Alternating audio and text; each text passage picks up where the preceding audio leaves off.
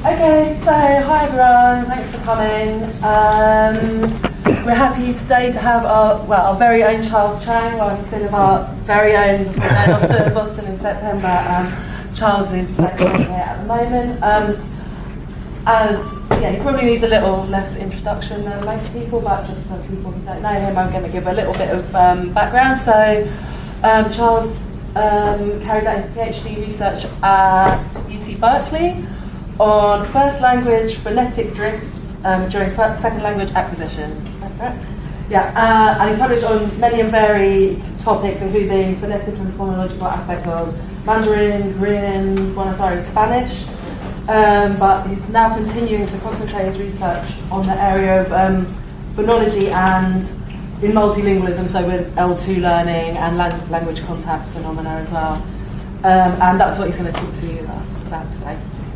Yep, thank you.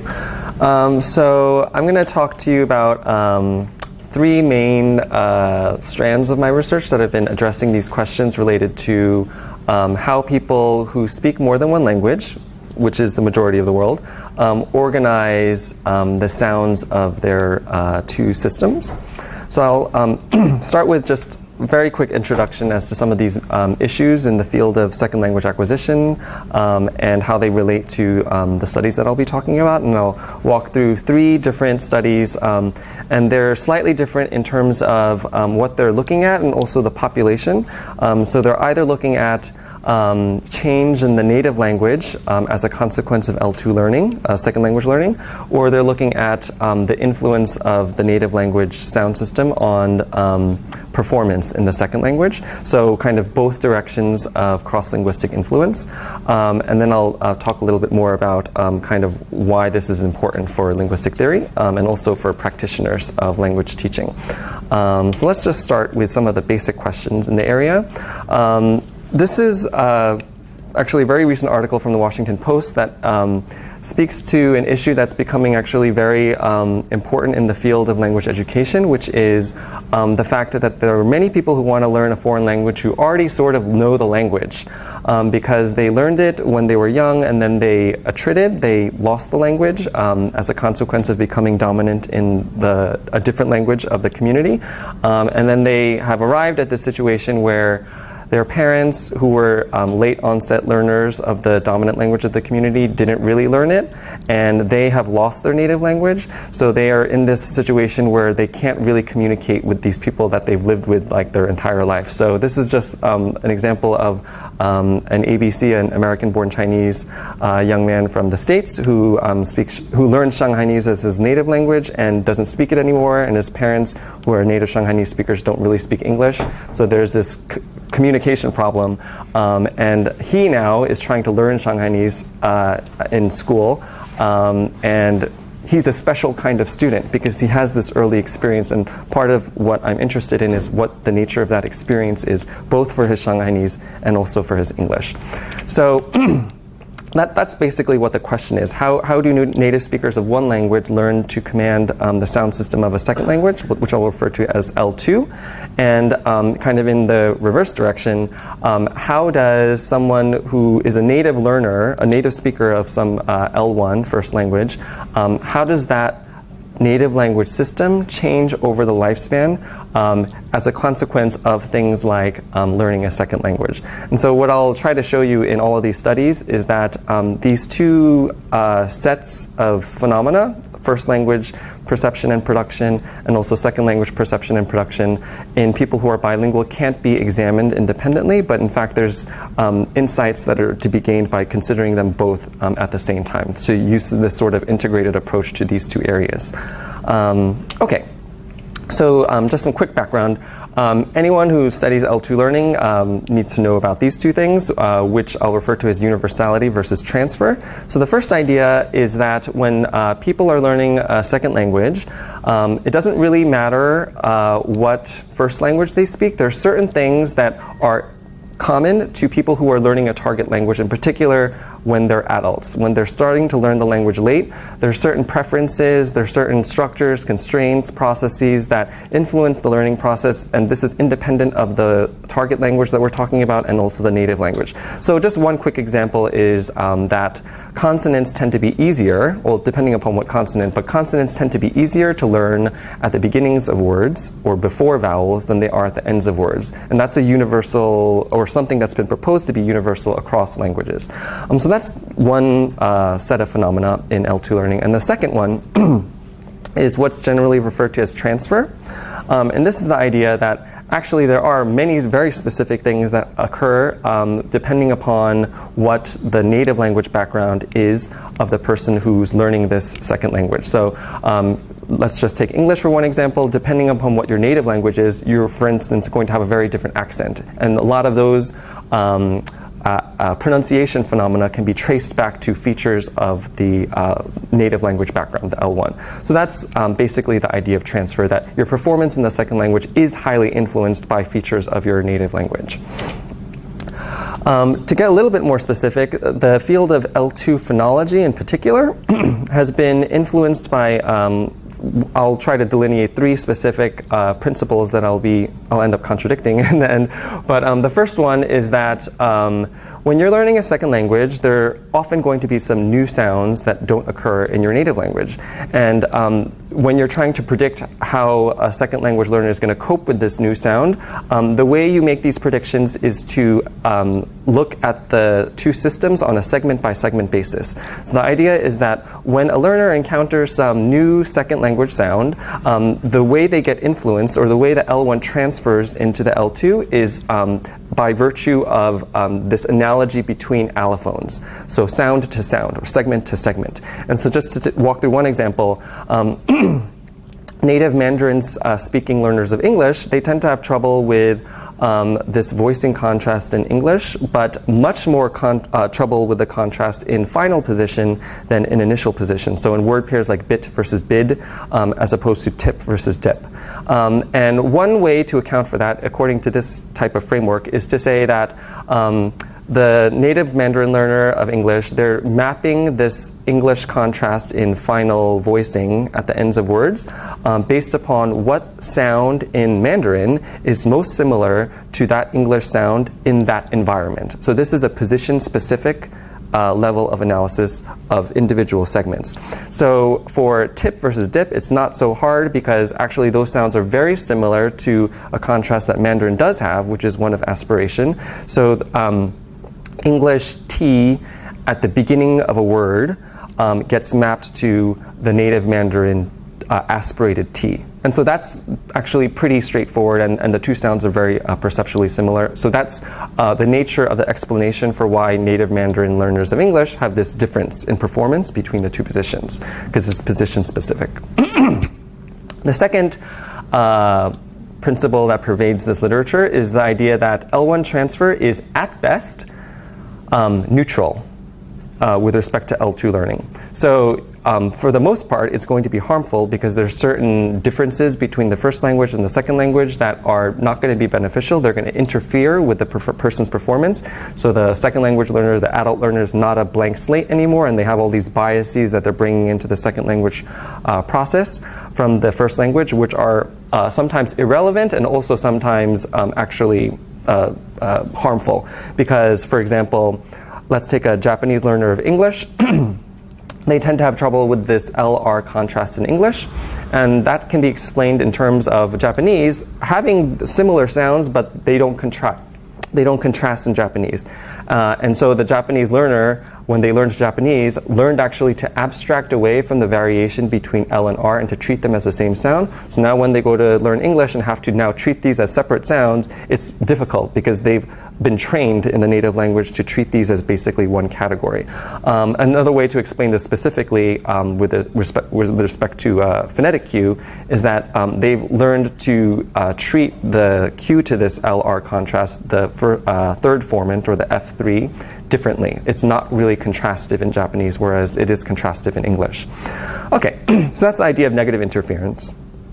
And then the third idea is that um, to the extent that you get any sort of uh, uh, flowback from the second language into the first language. This is going to be more evident um, when there's more second language there. So when you are very proficient, you have lots of experience with the second language, that's when you see these marked, marked effects of uh, second language proficiency on first language pronunciation. That's when you kind of start sounding accented in your native language or start forgetting it, for example. okay, so we have these three ideas allophonic linkage, negative interference, and then this positive proficiency influence relationship. um, and I'll end up arguing that all of those ideas are either false or incomplete and not, don't accurately represent what's going on um, with L2 learners. so the first um, study I'll um, uh, walk through is this uh, study of change in Shanghainese speakers of Mandarin. So these are Shanghainese Mandarin bilinguals. Um, uh, one thing to note is that Shanghainese is a minority language in China. It's not the uh, socially dominant language, um, and it's spoken all over the world, but principally in um, the area of Shanghai, which you see here at night, and you notice that it's um, by the water. It's a port city, which is actually very important because that allowed for the history of Shanghai to be shaped in a particular way, where there was a lot of immigration that happens really starting around um, the middle of the 1800s for about 100 years vast waves of people came into Shanghai from neighboring regions, in particular, people who uh, spoke other Wu languages. So Shanghainese is a Wu language. Um, in particular, a lot of this immigration came from the region of Suzhou. Um, that is what happened for about 100 years. And then starting around 1980, the second important event in the history of Shanghai is that um, China implemented a national language policy where Mandarin became the standard language and was heavily promoted as the uh, prestige language, the language of civilized people, and the language that you, mu- you had to speak in school. So up to this point, uh, it wasn't uncommon for uh, school subjects to be taught in Shanghainese, but after this point, even in Shanghai, and among native Shanghainese speakers, all subjects had to be taught in Mandarin, and in fact, students were punished for speaking Shanghainese um, in school, like outside of class. So you had to speak Mandarin in class, you had to speak Mandarin out of class, and that was a big change from um, basically 1980 onwards. Those two events actually line up neatly uh, with the particular linguistic variable I'll be talking about, which is this contrast between two mid vowels, um, an a and an e. so canonically, Shanghainese had this contrast between these two vowels, and um, they are reported as distinct in um, three sets of the Shanghainese lexicon, which I'll refer to by what the vowel is in the cognate set in Mandarin. So there's a set of Mandarin of Shanghainese words that uh, whose pronunciation in Mandarin has this vowel I, and then there's a set that has the rhyme an, and then there's a set that has the rhyme a. So, and they all in Shanghainese um, get pronounced with some sort of mid vowel, so either an a or an e. Uh, starting around uh, 1850, they're still distinct. It's a, a, e. So there's still a contrast between, uh, for instance, le and le. They're different words, and they sound different. And uh, after that, you get some merger of uh, two of these sets, and this has been attributed to the fact that there was all this immigration from neighboring uh, Wu language speakers who did not have this mid vowel contrast. So this is actually one source, one uh, level layer of uh, contact influence. So this contrast is slowly getting lost because all these second language speakers of Shanghainese don't have this contrast in their native dialect. And then the contrast is being reported as merged right around like 1980. There's no contrast now between this lexical set and this lexical set. They're all pronounced with e. And that's been, what's been reported in the literature. Interestingly, now this contrast seems to have been revived because this uh, set, uh, the uh, Mandarin A set, has now re- readopted this A pronunciation. So whereas in this stage of the language there was merger and no contrast reported, at this point the contrast has reemerged. So basically this has been a reversal of a merger. Um, the contrast disappeared and now it's reappeared. Um, so this is the variable that I'll be discussing. Um, the degree to which people show this recovered contrast, this recovered distinctiveness.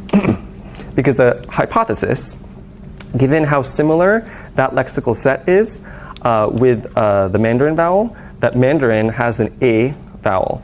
Um, that the, the recovered contrast is coming from language contact with Mandarin. It's not just some um, uh, reversal of an incomplete merger where there were residual A pronunciations kind of floating around, and those got um, augmented. Um, but actually, what's responsible for this merger is um, the contact with Mandarin, uh, helped along by the fact that there was this national language policy. Um, so that hypothesis led to three predictions in particular that uh, young people who are more subject to this policy because they went through either all or most of their schooling with this Mandarin only policy, they're going to show that recovered contrast more because they are more influenced by Mandarin. the second prediction is that um, both uh, young people and older people they will show the contrast more or the merger reversal more um, when they are operating bilingually. So if they have to use both languages, like for example in a translation task, then they'll show the recovered contrast more. And the third prediction is that um, the reversal, the appearance of the A pronunciation, is going to be specific to this lexical set. It's not just going to show up randomly in the lexicon, but actually it's this set of words whose rhyme in the Mandarin cognates is A. They're going to show up with the A vowel, and in particular, it's not just going to be A, it's going to be diphthongized. It's going to actually be an A vowel. So that's the, those are the three predictions from the first hypothesis. The second hypothesis is that um, this is not just about segment to segment. So the, the analogy here, um, at least from the first hypothesis, is that e is being anal- analogized to Mandarin a, and that's how it's being uh, changed into a. But the second hypothesis that uh, we had in the study, oh, I should also mention that this is all joint work I've done with my colleague uh, Yao Yao from Hong Kong Polytechnic, um, who's a native Shanghainese speaker. We got interested in this actually because uh, it was pointed out to her that she was pronouncing Shanghainese wrong by an older Shanghainese speaker. Um, and one aspect of the pronunciation that was pointed out to her as incorrect was the fact that she was diphthongizing this vowel. And so we got very interested in, I mean, she's grown up her whole life speaking Shanghainese, so how, you know, how is she speaking the language wrong? Um, and yeah, so that's why we got very interested in this. But the second hypothesis that we had with respect to this change was that um, the degree to which you're getting some sort of influence from Mandarin phonology is not strictly because this vowel is uh, similar, that you have this natural perceptual similarity. We can think about in terms of acoustics or phonological features, but there's very there are a lot of things shared between e and a. They're quite similar vowels. Um, that the degree to which you get this influence from A is not going to just be dependent on the occurrence of A, but also other things in the context. So the whole word, the similarity at the level of the whole word will condition the degree to which you get A influencing E. Um, so this is now already departing from the, the basic thrust of the second language literature, which is basically all about segment to segment relationships. Okay, so we have these two hypotheses. And um, just to recap, we're looking at these three lexical sets. So there's three sectors of the lexicon in Shanghainese, the re- relevant ones that have this vowel, that um, differ depending upon what the rhyme is in Mandarin. In Shanghainese, they're pronounced identically, or at least are reported to be at some stages of the language uh, pronounced identically. So this is le, le, le. They're all le. And they differ in terms of what the pronunciation is in Mandarin. So the Mandarin I words have I, and the Mandarin an words have an, and then the Mandarin a words have a. And the uh, idea here is that um, it's not so such a problem to represent the Mandarin uh, and Shanghainese phonological forms of these words differently when they're not very similar to each other. But when they are similar to each other, then um, there's this uh, tendency to equate the two, to link them perceptually across the languages. And this linkage, which um, I've shown here, is, is what allows for there to be this cross linguistic influence. And in particular, that's going to happen at a lexical level, not necessarily at a segment to segment level. So, this is the set that we'll be watching out for in particular. okay. Um, so, what Yao did was go to Shanghai and recruit a bunch of Shanghainese speakers. And we did this in a very controlled way because um, is, uh, Shanghai is a very big city, and so we recruited the participants in the form of parent-child pairs. And we did this to control for the fact that people move all around Shanghai. It's a big city, so we wanted to control for immigration history and where they lived in, in the city. Um, so this is 24 people, and it's 12 parents and their children. And that's what the contrast is uh, that's the two groups that are being compared. Um, they were asked to produce um, the critical items that contain this vowel, the Shanghainese e vowel, um, in these three lexical sets. And for the first study, there's three experiments, but for the first study, the reference level in all the models, the baseline that we'll be comparing everything to, is the pronunciation of this um, Mandarin I set, which is uh, a set that we don't expect there to be any diphthongization uh, in. um, we also were interested in maybe there would be some uh, effective frequency of the lexical items. We entered that as a factor uh, in the design, and then also whether there would be any effect of the onset consonant. So these are other factors. Um, the most important thing here in terms of the design is that um, the speakers are uh, producing these items in two different types of tasks, and, and these tasks are designed to mimic distinct language modes. Um, we had uh, the participants read the items in the context of a meaningful sentence um, where uh, there's no Mandarin involved, other than the fact that they're reading Chinese characters. So basically, we have them read a, a sentence and just ask them to read it in Shanghainese. All the interaction with them is in Shanghainese. There's no Mandarin produced in this experiment. Um, so that's the first task, which is um, as monolingual as we can get in Shanghainese, which, which otherwise is problematic to elicit um, without use of some sort of uh, writing form. And the second task, which is meant to be bilingual, to elicit a bilingual mode, is this translation task. And what uh, they're doing is basically they're hearing a Mandarin word being uttered over uh, speakers, and they're asked to immediately translate it orally into Shanghainese. So this is um, inherently a bilingual task. They have to have both languages activated because they're hearing Mandarin and immediately speaking in Shanghainese. Okay. And then um, we're looking at the acoustic correlates of vowel height and backness, F1 and F2 at the onset and the offset of the vowel to see what the quality is at both of these points, and in particular, whether there is movement of the vowel quality, movement of the formants, because that would indicate diphthongization. Um, I'm not going to talk so much about the statistical analysis, but um, it's in a mixed effects regression model, and we're entering all of these factors that I've talked about to see whether there's going to be any um, effect of these uh, different predictors, and then um, also entering in random terms for the fact that um, individuals are going to vary, and also what family they ended up in is also going to have, to some degree, an effect on the way they perform. okay, so in experiment one, what you see here um, is a, a, graph of how many of the tokens they produce get diphthongized towards the E direction. So if they move up and front, then we counted them as diphthongized towards E. And what you see here is that the Mandarin I baseline is in the middle here because that's what we're comparing both Mandarin An and Mandarin A to. Um, there's no significant difference between the An and I words. Those both are really not very often diphthongized, whereas the Mandarin A words are frequently diphthongized by both the older and the younger groups, although the younger groups show more of a, an effect. In the translation experiment, it, the pattern is similar, except everything is augmented in the Mandarin A set. So there's more diphthongization for both groups, but still the younger group, the younger speakers are doing it more. if we look at um, the quality uh, in terms of F2 and F1, um, so these are vectors that are showing you the change in uh, the formants um, at the onset and offset. So if you see a long line going in this direction, that's showing you that it's being heavily diphthongized towards E. It's going from A all the way to E.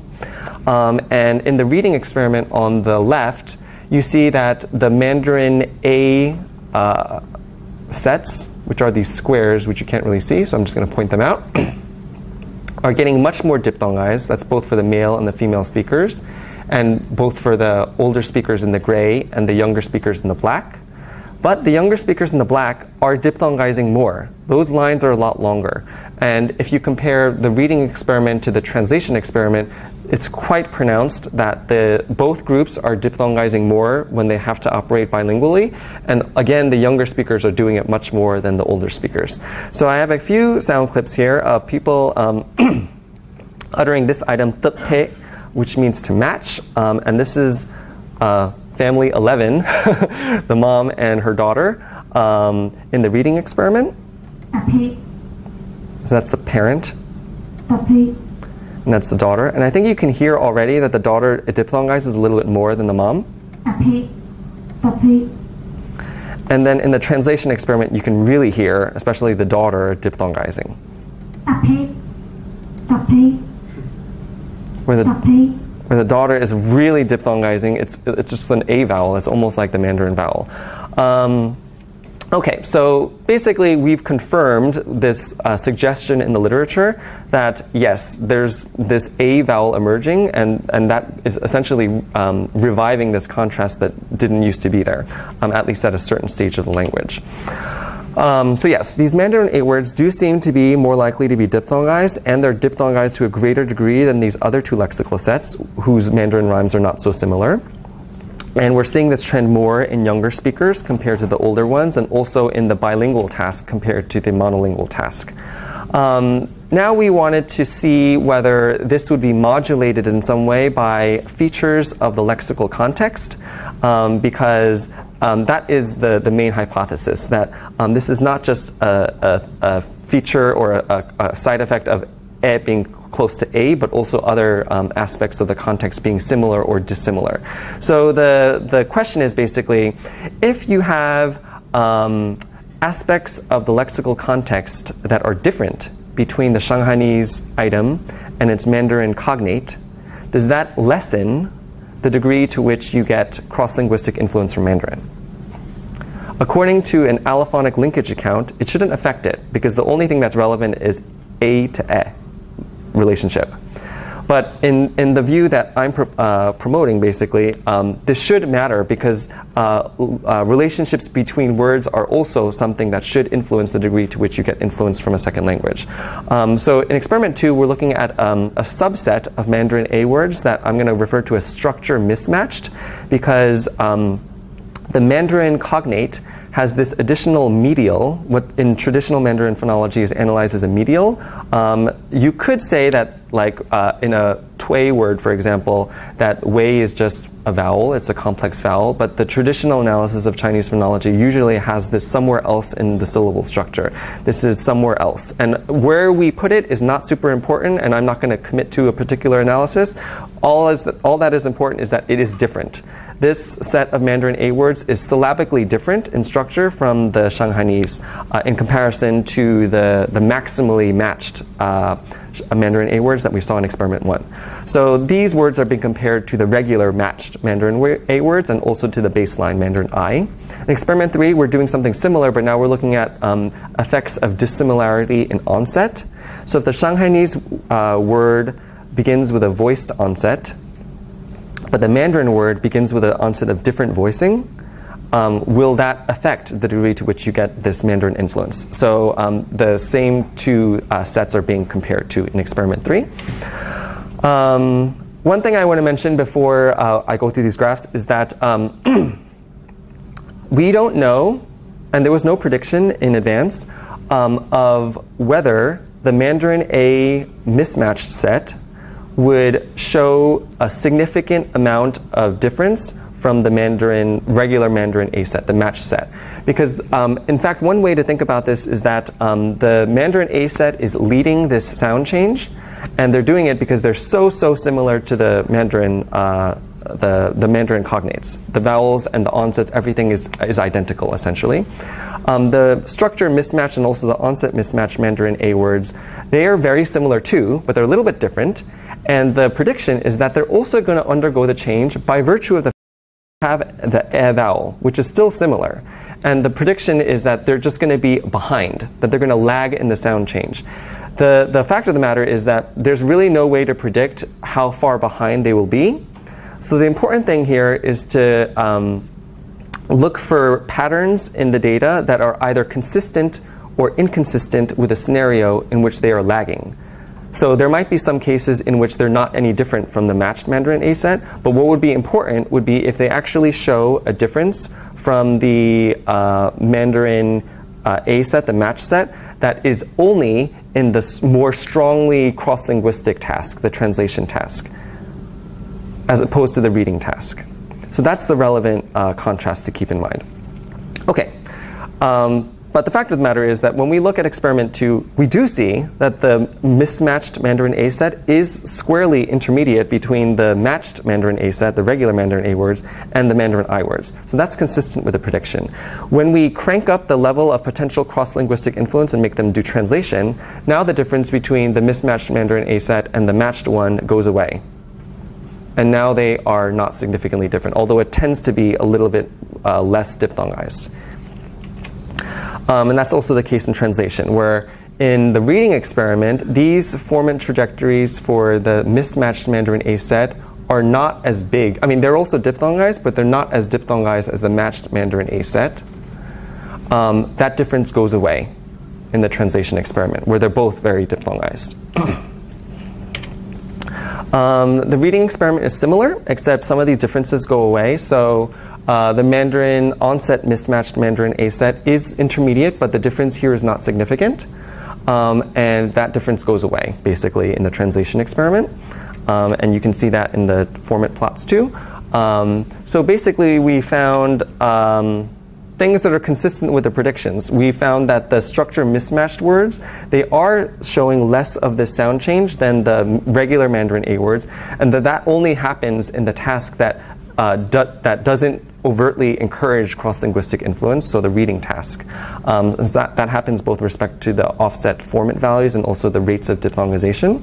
Um, it, the pattern is similar in experiment three, although some of these differences go away. So what these results taken together seem to be suggesting is that um, the way people are relating these languages cross-linguistically is not being influenced only by these segment-to-segment relationships, but also these relationships between lexical items. That there's a lexical linkage, not just uh, segment to segment.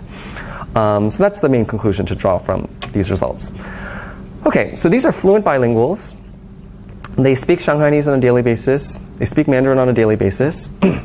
and the idea was uh, whether you'd also get similar multifaceted levels of cross linguistic influence in people who are just starting out. So maybe the phenomenon is actually different if you were to look at ab initio learners, people who are just starting out, the novices.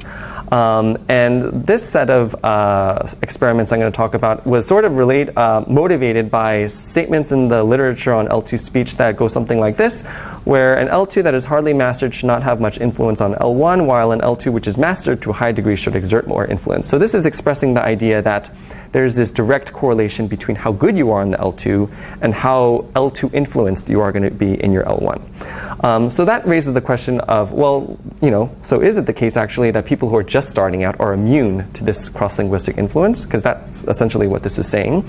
Um, and also, is it the case that you get this direct relationship between proficiency in L2 and influence from L2? And again, the same question that we had in the Shanghainese study. Um, is this uh, cross-linguistic relationship that's leading to the influence um, occurring on an allophone to allophone basis? Um, so those are the same questions um, that we saw in the Shanghainese study. But here we're looking at people who are just starting to learn, and these are speakers of American English. Um, they're young college graduates, and they've gone to Korea to teach English. Um, part of their training is to learn Korean, because they're going to be in, for some of them, they're going to be in very rural areas of the country. Um, and so they're undergoing this very intensive six week course of Korean instruction. It's starting from uh, scratch. and during this um, uh, language program, I was there at the site and I was interested in, well, actually, I originally gathered these data as a control measure, but then started seeing all these changes in their English, and then that became my dissertation. so, um, uh, what, what happened here was they were reading um, the same English items every week, um, so the same set of items and the same procedure. Um, and I'm analyzing uh, three uh, main sets of measures the voice onset time in their uh, stops. This is correlated with the voicing contrast. And then the fundamental frequency, or F0 onset, in the following vowel, which I expect to be um, influenced uh, on the basis of some properties in Korean that I'll be talking about in a second, and then um, the acoustic correlates of vowel height and backness, F1 and F2. And the statistical analysis is similar, although I'm using a slightly different version. Um, okay, so why would we think that the pronunciation of English stops would change as a result of learning Korean? Well, one reason is that the Korean stops are quite different in terms of their phonetic properties. So, um, this is a table of um, VOT values of the English stops in comparison to the most similar Korean stops. And what you see here, and the important thing to take away is that for the voiced stops, of, the quote unquote voiced stops of English, BDG, those ones spelled that way, um, in comparison to the short lag VOT stops of Korean, the Fortis stops, there's basically no difference. They're very, very similar, which predicts then that there isn't going to be a lot of effect on the English stops because learning this very similar stop series is not going to change their uh, pronunciation of the voice stops. The aspirated stops, on the other hand, um, they're all significantly more aspirated than the uh, English voiceless stops, which are also aspirated in at least word initial position before stress. So what you see here is that um, consistently the Korean series of stops is more has longer VOT, but the difference differs depending upon the gender and also the place of articulation. And one thing I want to point out in particular is that for female talkers, coronal stops are not very different between English and Korean. And in particular, that difference is the only difference comparing voiceless to aspirated that falls below the just noticeable difference, or JND, for VOT. So humans have a limit on the, the degree of uh, psychoacoustic difference that they can discriminate. And for VOT, it's been shown that generally this falls somewhere around 23 milliseconds in the uh, range that we're talking about. And this difference is smaller than that all the other differences are longer. And so that's something to keep in mind because then these different places might pattern differently. So that's the picture for VOT. Uh, so the prediction basically is that if you're going to be Korean influenced in your English voiceless stops, you should start aspirating more and more and more. Um, for F0, the reason why this is relevant is that these stop series, the, both the Fortis stops and the aspirated stops of Korean, are laryngeally marked. And they've been described ad nauseum in the uh, Korean literature, but the important thing is that they're both associated with this pitch accent on the following vowel. They raise the voice pitch of the following vowel. And given that these are the stop types that are most similar, at least in terms of VOT, to the English stop types, what that predicts is that if you're going to be influenced in your voice pitch by learning Korean, everything's going to go up. Your voice pitch is going to go up, at least following the stops. So is that what happens? what you see here is both of these uh, variables, VOT on the X and F0 standardized against each person's range um, on the Y. And the women are in black, and the men are there, which are fewer, are in gray. And the numbers are showing you their value for that week in the language program. So basically, you just follow one, two, three, four, five. So let's start with the females. So the females are not really changing much in VOT. Keep in mind this is two milliseconds, so that's nothing. so they're not really changing in VOT, but they're steadily going up in F0. So it is the case that over time their pitch is going up. For males, they're also kind of not changing uh, um, uh, consistently in VOT, but their F0 is not changing in the same way. Um, we can talk later, maybe in the questions, about why this might be, but it's important to point out that all the teachers in this uh, language program are female there are no male teachers. So the males do not have a male model for L2. Okay. Um, so, yes? What's the JND for F0? So for this range, it's generally around 4 hertz or so. Yeah. Um, so yeah, the effective time is significant for VOT, but uh, uh, sorry, not significant for VOT, but is significant for F0, and that's being driven by the women. There's this gender by time interaction. It's only for the women that the effective time uh, on F0 is significant. Okay, so those are the voice stops. the voiceless stops are a little bit different because the women are increasing both in VOT and F0. So they're aspirating more and they're also raising their voice pitch. Whereas men are aspirating more, one, two, three, four, five, but again, they're not showing this consistent effect on their voice pitch. So time is significantly affecting VOT um, and F0, and there's also this gender by time interaction. Okay, so this is completely consistent with the predictions. What's interesting is that if you break the data apart by place of the stop, so these are the voiceless stops, to see how much more aspirated people are getting, that there's a difference uh, between the places where, if you recall, the uh, the alveolar stops, the coronal ones, they were so similar in VOT, at least for the females, that um, the difference between them was not going to be noticeable, most likely. They are the place of articulation that also shows the smallest increase in VOT. So there's two things that are significant here. The first one is that they increase in VOT at all. Because if they're related segment to segment, that should not happen. So the fact that they're going up in VOT as well suggests that there's something else going on. That these learners are equating not t to t, but voiceless stops with aspirated stops and are equating these norms, and that's how you're getting this influence of, uh, on alveolars, which shouldn't otherwise happen. However, that influence is being modulated by this segment to segment linkage as well. So I don't want to say that that doesn't exist because it does seem like that's having some sort of influence and um, tamping down the effect of the like the natural class level voiceless stops to aspirated stops.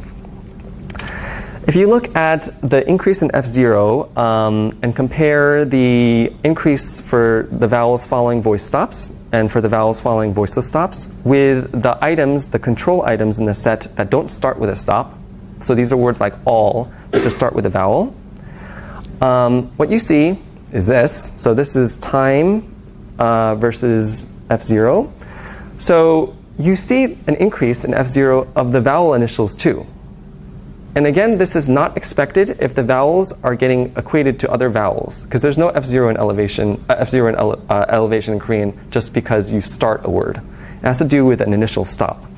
So again, this is unexpected on a segment to segment basis, but makes sense if we're thinking about F0 being linked globally across language, that there's some sort of shared control mechanism for uh, modulation of voice pitch that is being influenced globally by the fact that you have to raise your voice pitch a lot in Korean uh, for the articulation of these stops. But you notice, just like we saw with the alveolar stops, that they're like intermediate. They're not showing the same increase as the other places, as the other uh, onsets, and that is seems to be indicating that there is still this influence of the the stop to stop relationship. That the ones that are stop initial, these items, are going up in F0 more than the ones that don't have the benefit of starting with that stop. So that there's these two levels of influence that are going on um, is what you should take away from this. okay, so that stops. So English speaker stops are changing rapidly. Um, what was what would happen with vowels? Uh, so I looked at um, all over the literature to find some uh, phonetic norms for English vowels uh, of the states, and the important thing to take away from this uh, figure, which is very full of things, is that First, there's enormous dialectal variability even within the United States in terms of the organization of the vowel space. Those are all the colored uh, trapezoidal-like things or parallelogram-like shapes. And then the Korean heart-shaped vowel space in black um, first of all, contains fewer vowels, and the inventory differs in two systematic ways. There's fewer low vowels, there's fewer high F1 vowels, because it's just ah, they don't have an a and an ah, for example. And there's also fewer front vowels. There are fewer high F2 vowels. Because English has e, e, e, a, whereas Korean has e and e. So that's an important thing to keep in mind. Because when we look over the systems at the way these um, uh, vowel systems differ uh, phonetically, that leads to this difference, where it doesn't really matter what American dialect we're talking about. The Korean vowel system, if we take F1 and F2 and average over all the vowels in the system, is systematically lower in F1 and also systematically lower in F2 by virtue of the fact that there were fewer low vowels and also fewer front vowels. And I should also point out that these differences between the systems um, are greater than the just noticeable difference for frequencies in the range of vowel formants. So I mean, this is much bigger than like 4 hertz. okay. So uh, what happens to the vowels? Well, on a segment-to-segment segment to segment hypothesis, we should get the vowels actually going all over the place because their position in this F1, F2 space is different with respect to some sort of nearby vowel neighbor. And you don't get that. You don't get this disparate motion of all the vowels changing position, some going down, some going up, some going left, some going right. They all go up. And these are the females because they're the uh, more numerous ones, but actually the few males that I have do do the opposite. And we can talk later about why that might be. But um, this pattern seems to be some sort of global thing that's happening. All the vowels are going up. Um, and this is the case regardless of whether the nearest vowel that they're closest to would have them go down versus up. So, like for instance, u here is going up, even though that takes it farther farther away from the nearest Korean vowel, which is u. And this uh, this is the um, horseshoe vowel, the put vowel. This vowel is also going up, but that actually brings it closer to the nearest Korean vowel, which is uh. So it's not really possible to construct a coherent analysis of this where people where um, the learners are constructing these segment to segment relationships and consistently wanting to assimilate to the second language system. Basically, you get this generalized raising um, across the system. Okay, so just to sum up really quick, um, for the stops, we saw a change in F0 and also in VOT. Um, in these novice learners, this happens very quickly, happens after essentially a week of instruction. Um, so it's happening quickly, it's happening in assimilation um, to the second language, and it's happening in this way that is, seems to both be specific to segments and also generalizing above the level of the segment. Um, whereas vowels are doing something different. They seem to be uh, do, uh, changing in a way that is systemic. There are changes happening to the vowels that, is not, that are not occurring on a vowel to vowel basis, but happening over the entire system. Um, so the conclusion basically to draw from these uh, this set of results is that novice learners do show the same type of influence on the second language as these advanced learners that have been talked about a lot in literature. Um, and the way they're being influenced is on the basis of some perceptual linkage that is not just occurring on a segment to segment basis. Now, when I looked at the amount of VOT lengthening that was occurring in the novice learners, I was surprised at the fact that it was approaching 20 milliseconds, which is a large increase in VOT. And uh, when you compare that to the results that have been found for um, advanced learners, it's a lot bigger, and I was confused as to why this might be. But then I thought about the fact that actually, the, the, the fact that they don't know Korean could help this happen because it's so new to them this new this new language is so uh, I guess you can think about it as exciting perceptually. They've never heard this before, and so so could that give some uh, cognitive boost basically to the encoding of this information? Maybe that's why they're actually showing this pronounced effect. In order to see whether that was the case, I compared those novice learners to people in the exact same program, and these are people who have learned Korean before. So they have some experience with the language, either through heritage exposure or formal study. And the question was, will they show less of an effect on their English by virtue of the fact that this is not so new to them? They, they've heard this before. Um, and that is what happens.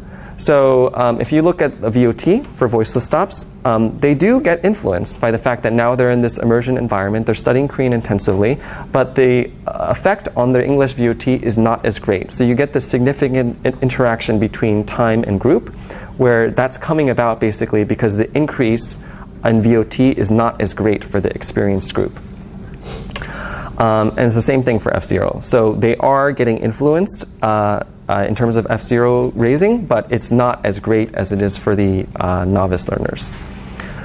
Okay, so basically the conclusion of that subset of studies is that um, as you increase the amount of experience, so your proficiency also in the L2, actually what's going on is that the potential influence on your L1 goes down.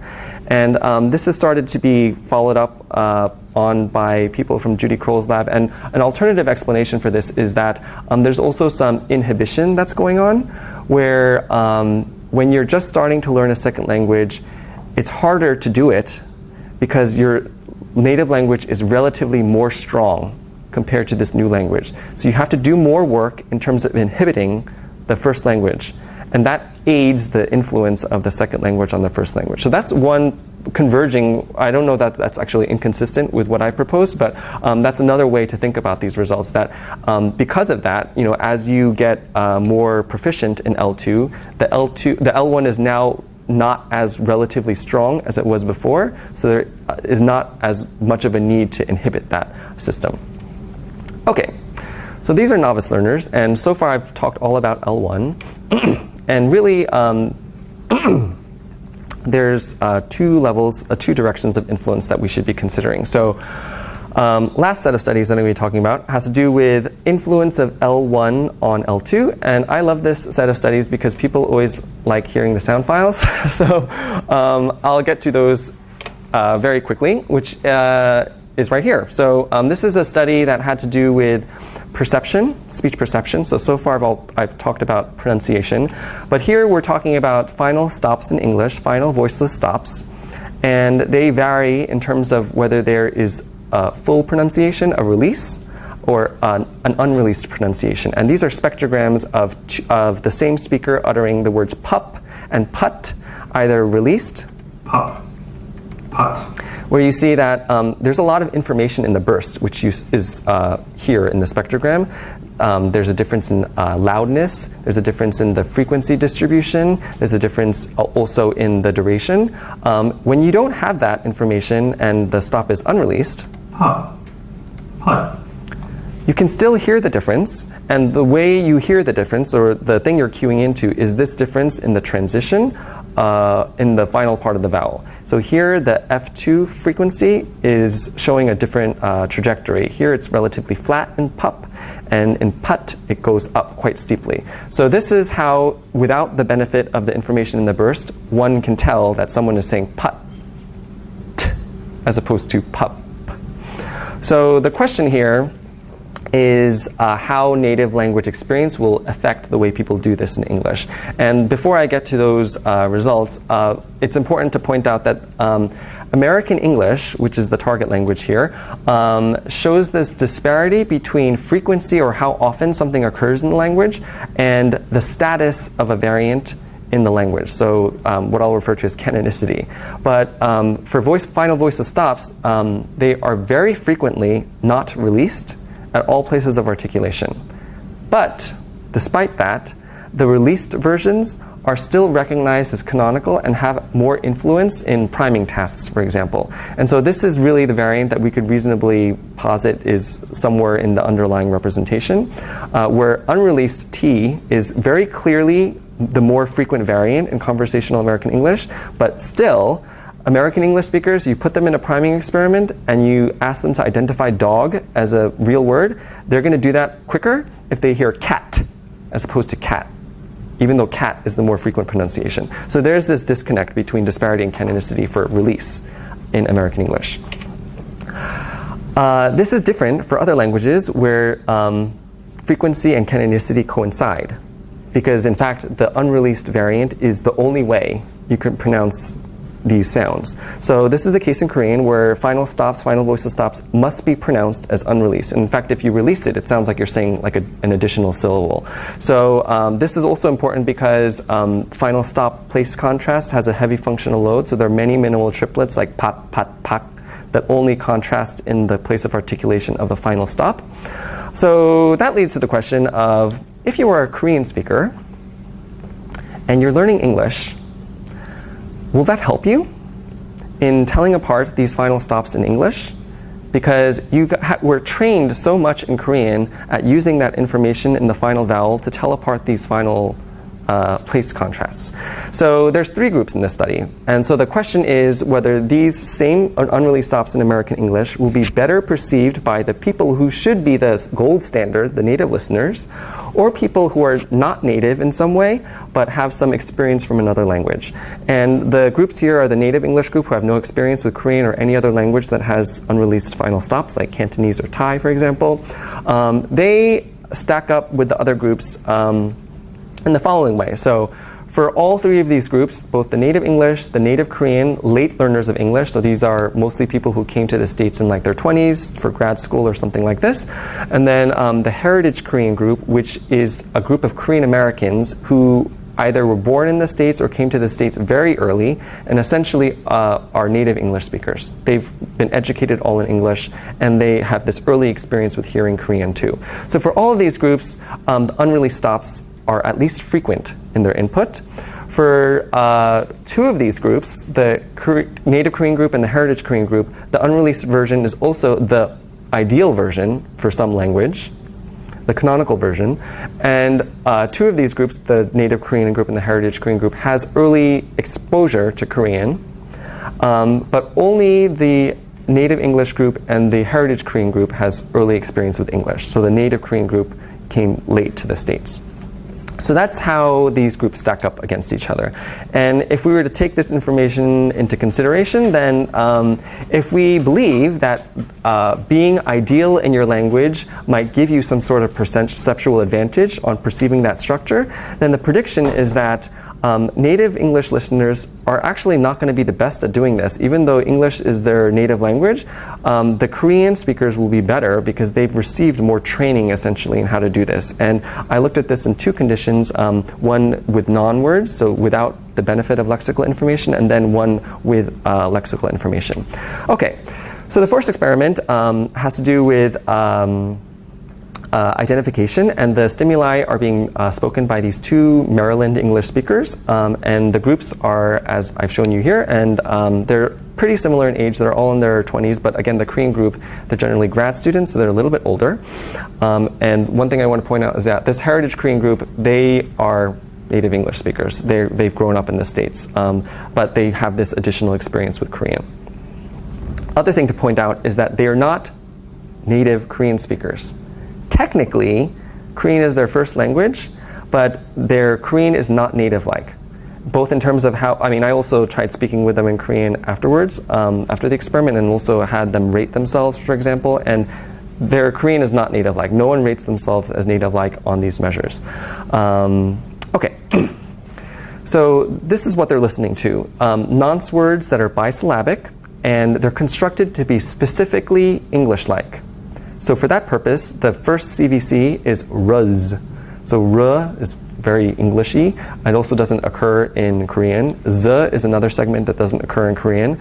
Uh, and then the second vowel and the consonant vary in the following way, where the second vowel um, uh, contains either a, a monophthong, i-u-a, or a dynamic vowel nucleus, a-o-i-r, uh, where those nuclei do not occur in Korean. And also, objectively should be harder because they inherently have formant movement. So the task of trying to tell what the formant movement is for the vowel versus what's coming from the consonant is going to be harder for these dynamic nuclei. And then the consonant varies between either a P, T, K, or unreleased, or nothing. So we could have, and there's a variation in stress, so we could have um, items like ruzite versus ruzite versus ruzai versus ruzai.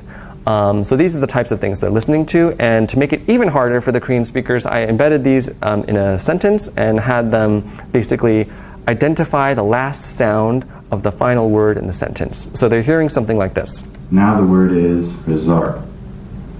So I'll play it one more time so you can try to guess what the correct answer is. oh. Now the word is resort. To? So the correct answer is K. now the word is resark. Um, so this is a speeded task. They're being asked to do this as quickly as possible to say P, T, sounds like P, sounds like T, sounds like K, or sounds like something else. Um, and the analysis is similar to what I've done before in the previous studies. And in this identification task, this is what you get.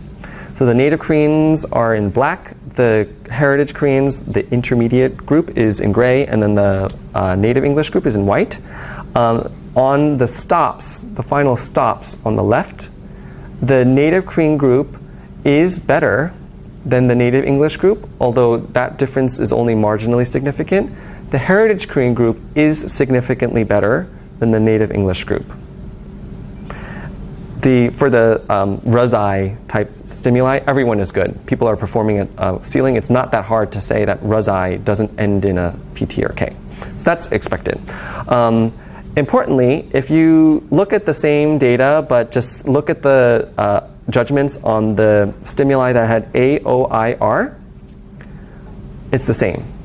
So that advantage um, uh, of having Korean experience extends to when you're looking at vowel environments that do not occur in Korean. So this is some sort of general knowledge about how to extract information from the final part of a vowel, because they never would have gotten that experience from having this formant transition for A in Korean. That's not something they could just be pretending like they're hearing uh, in Korean.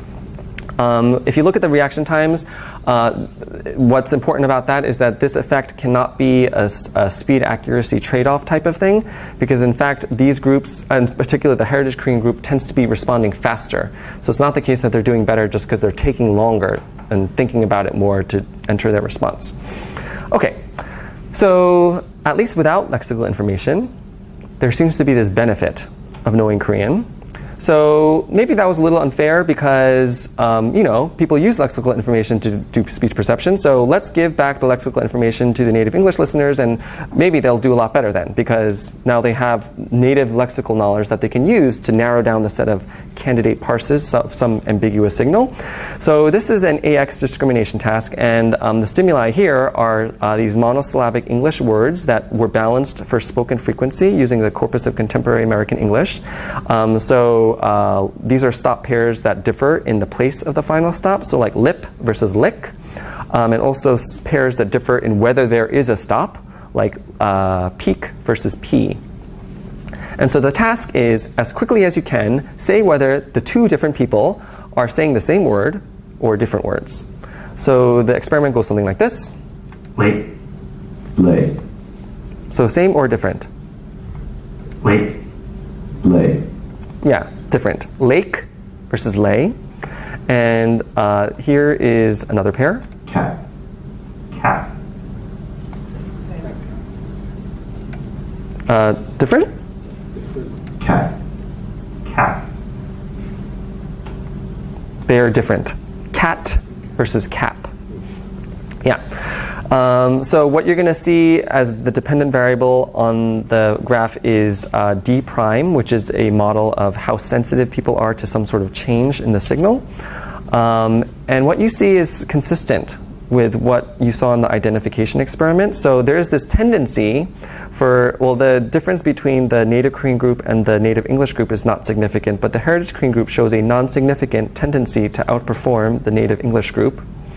Um, on the stop zero pairs, the native Korean group is better than the native English group, and the heritage Korean group is better still. So they are the best of all, and they're also better than the native Korean group. Um, if you look at the reaction times, it's the same situation. The heritage Korean group is actually faster. They tend to be faster than everyone. Um, so this is not a speed effect.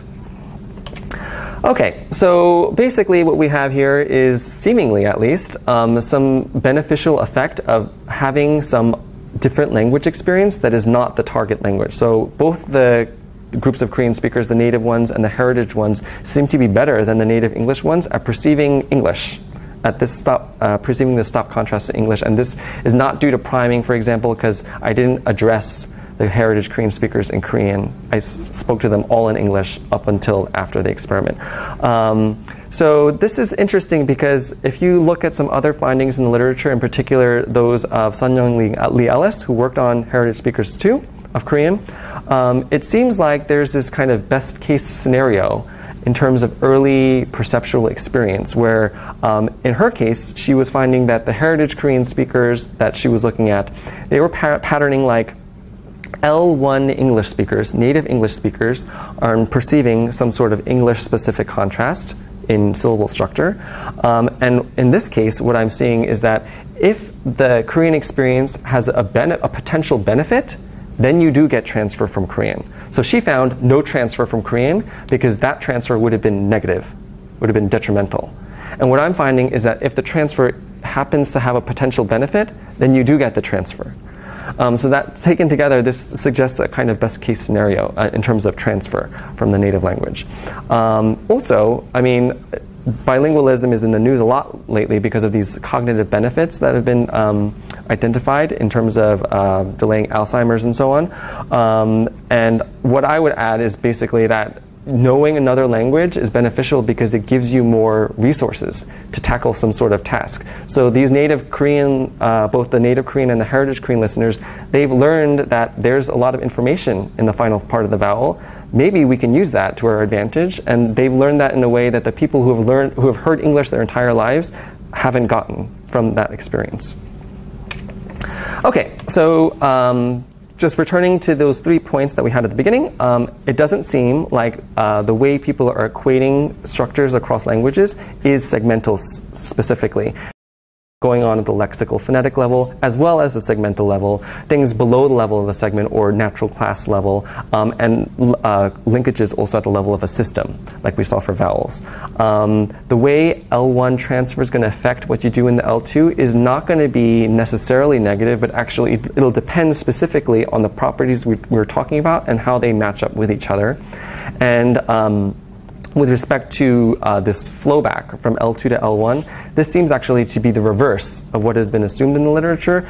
In fact, when you gain more experience, it decreases the amount of influence that you're going to get cross linguistically. Okay, um, so this approach, the reason why I've um, taken it is because I think that um, looking at the way two languages are interacting within a mind gives us something uh, in terms of insight that you can't get without looking at a cross linguistic situation. So, in particular, um, uh, for instance, uh, looking at historical sound change. If you want to analyze uh, patterns of uh, lexical diffusion, for example, there are certain patterns of sound change that might be explained in, in the exact way that I've talked about with Shanghainese, where there's some specific cross linguistic similarity that is motivating the change, and that's where it starts, and, and that leads to a specific uh, pattern of diffusion across the lexicon. Um, that's something that you can't really explain in terms of. Um, or if, if it's a contact induced change, you need to look at both languages and how they line up with each other in order to uh, make some sort of prediction.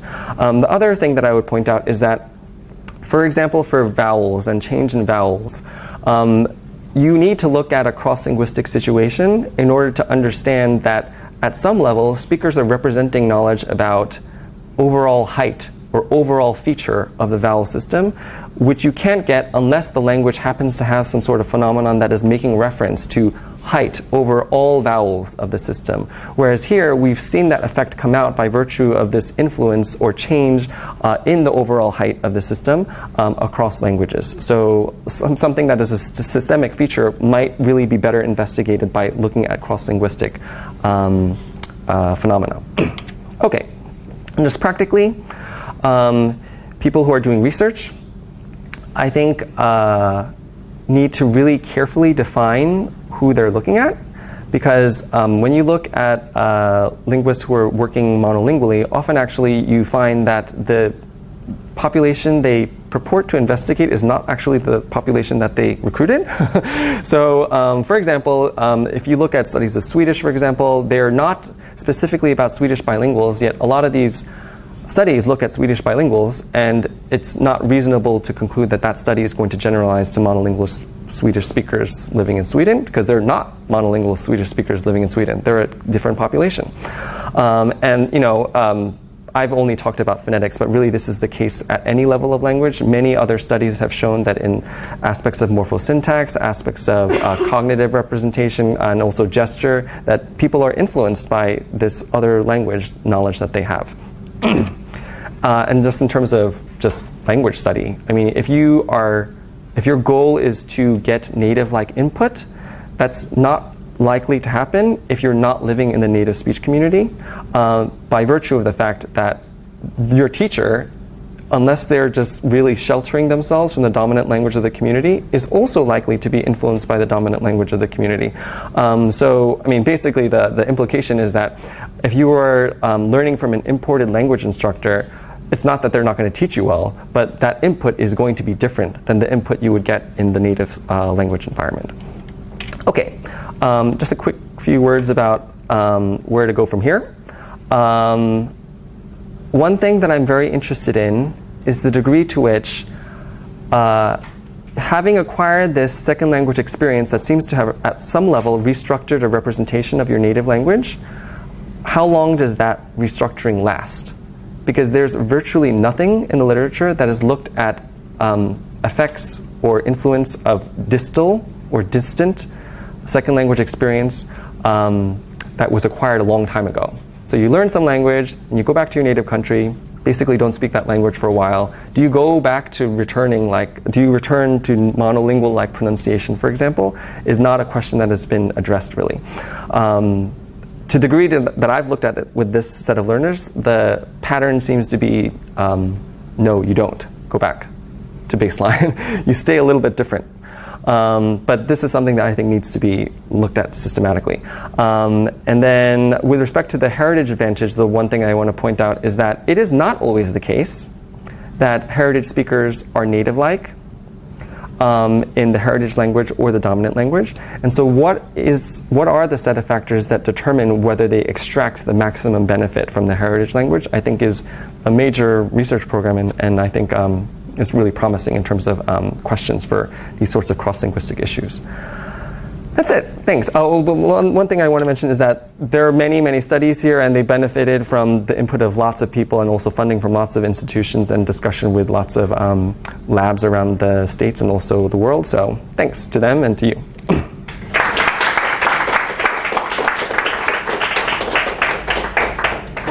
Thank you very much, Charles, for um, yeah, some very um, some very interesting findings. I'm sure we have some questions you have at the time for. Any questions? Uh, yeah, you mentioned that uh, you showed that the, the, effect on L1 of uh, experience by experienced speakers is less than by novice speakers. Is it maybe because they already like raised their voice? Uh, no. So um, if you look at, so that's a good question. If you look at this plot, uh, is this right? Yes. So actually, the difference in week one between the novice and the experienced learners is not significantly different, mm-hmm. um, and that's also the case for F zero. So it's not the case that it's they're not going up as much because they've already gone up a lot. Yeah. Okay. Mm-hmm.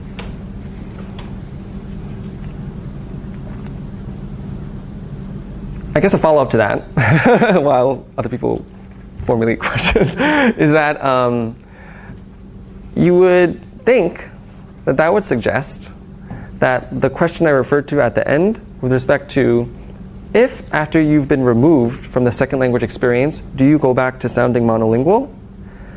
That, that would suggest the answer to that question is yes. Because these people who learned Korean at some point in time in the past, after one week of instruction, they're, they're not yet different from the people who have never learned Korean before. So it seems like they, you know, if we kind of think about what might have happened in the past, that yeah, after they learned Korean in their first year undergraduate course or whatever, they went back to being English like after they stopped using Korean.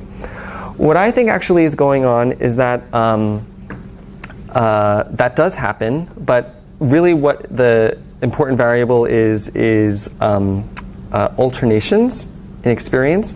So they they have gotten the benefit of essentially a, uh, a break from Korean. So they've learned Korean at some point in time, and then they've lived in the States and have been operating mostly in English.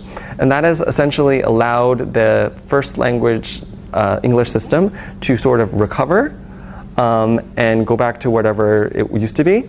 Um, and then now, when they're encountering second language experience, um, it's not as um, uh, influential. Um, yeah. But I mean, I think the degree to which it actually does go back to baseline is still an open question because really we're just guessing as to what happened in the past and we don't really know. Yeah.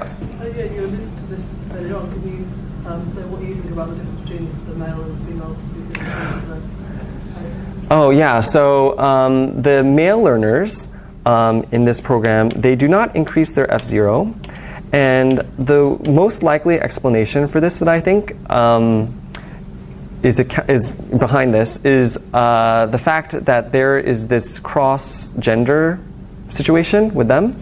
So they don't have they don't have the right gender model um, in terms of their target language, and so. Um, in, in that respect, I think that they don't have the same motivation to accommodate to this higher F zero because maybe this higher F zero is higher because it's coming from a different gender. The women are all women, so when they have this model of a female Korean teacher talking to them, they don't have the same uh, excuse for not accommodating to that F0 because it's the same gender. So the fact that this Korean speaker is uh, using a higher F0 means that there's something significant about the higher F0. If you're a male learner and you're uh, re- uh, receiving instruction from a female Korean teacher, you don't really know, or it's harder to know, whether the higher F0 in Korean that they're hearing is due to the fact that Korean has higher F0 or to the fact that because she's a woman, she has higher F0. I think that might be interfering with their uh, processing, basically, the way they're interpreting this information of higher F0. The other thing is that um, just generally in the sociolinguistic literature, it's been pointed out that males modulate F0 in a way that is different from females. So it may be the case that males, just on balance, are more averse to increasing F0 range or increasing F0 in general. So yeah, that, that's a possible, possible other explanation.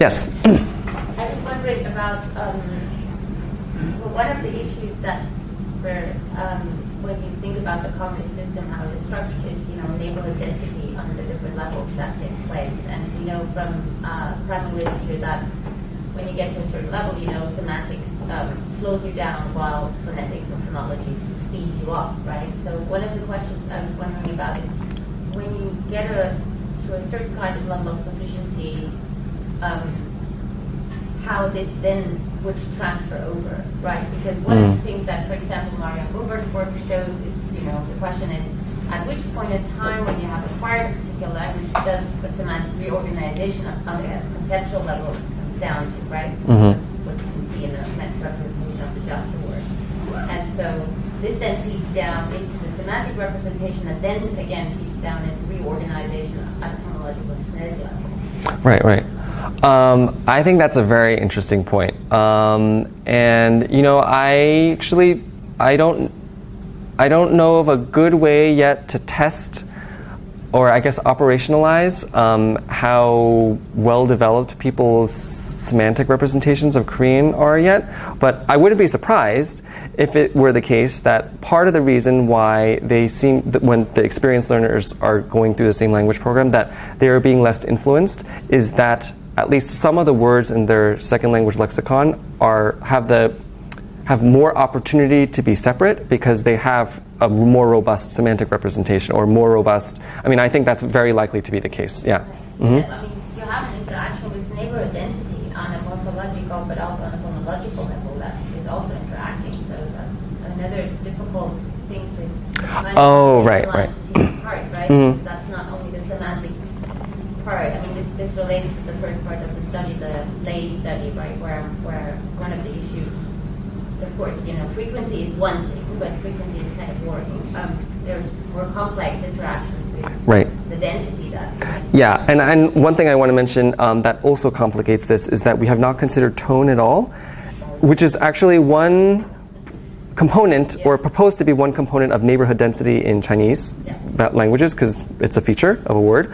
And uh, the reason why we haven't considered it is because it is just too difficult. Um, Shanghainese has so many tone sandhi patterns, and to try to get equivalence between the Mandarin and the Shanghainese forms at a f- at least a phonetic tone level is just it's you don't have any items left after you eliminate uh, for all for all of those differences. So, um, but yeah, I mean, I I think it's an excellent point. Yeah, the, effect of neighborhood density is surely going to have some sort of influence on people's production, which we have not we've abstracted away from that here definitely. Mm -hmm.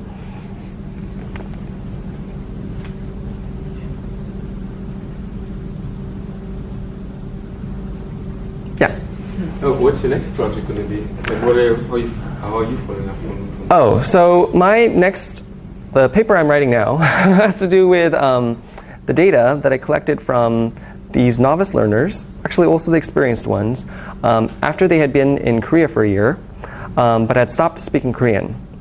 So uh, the question is whether the people who studied Korean for those six weeks and then you know went to their placement and teach taught English, uh, but were in an English environment um, uh, in terms of uh, requiring them to speak Korean, They had a homestay that spoke English, so they didn't have to speak Korean.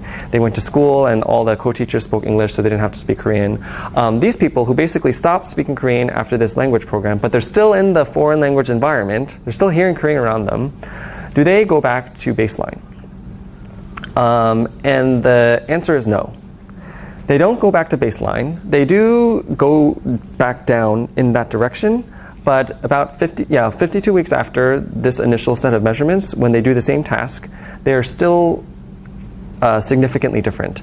And I think it's very interesting because, I mean, they are not actively studying the language anymore. I mean, one way that you could interpret these results um, is that there's some special thing that happens during learning. You're attending to the linguistic input more uh, uh, conscientiously, or you're, you're just devoting more cognitive resources to that. Maybe that's part of the reason why they're so influenced by it. They, they're just so actively engaged with the L2 at this point. Well, okay, if we remove that element, um, does that you know eliminate this L2 influence? And I, I think the uh, explanation for the fact that they stay um, shifted is kind of the phenomenon where if you're like sitting in a cafe and you're trying to uh, ignore the people sitting next to you, it's much harder to do that when they speak a language that you know. And so there is this difference in processing of ambient language once you know that language. So even though they are not really speaking Korean with people, they still hear Korean and, and they know it enough now that they can't block out that exposure in the way that they used to. And I think that is part of what is helping promote this shifted English because um, essentially Korean is staying active. They, they, they can't turn it off anymore. They, they know too much. they know too much. Yeah. Do you have a control group for that? Like people who are exposed to Korean but don't know, like, I don't know, the ambassadors' wives, you know, just listen to it, uh, listen to their maids talk in Korean all the time, but they don't Oh, but they don't. They never even studied it. Um, actually, Would, would that actually shift that? Yeah, that, that would be very. I haven't collected data from that group. Yeah, so I only have data from this group that has some like critical mass of Korean knowledge that might help make it hard for them to tune out this ambient exposure. What's the proficiency level at that, at that point? Not very good. So Korean is what's categorized as a category 4 language, which is the most difficult for native English speakers to learn, and they only learned it for 6 weeks.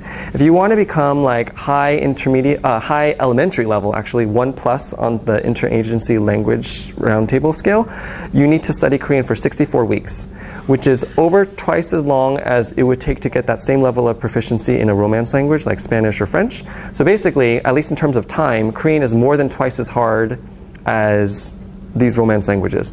So they didn't study it for very long. So reasonably, it can be assumed that they weren't very good. And you know, just from personal experience, just seeing them struggle when they're ordering and, and, and this sort of thing in the community, yeah, their, their, their command of the language is rudimentary. So it's, it's not really the case that you know, they are being influenced because they're just so good. It's definitely not.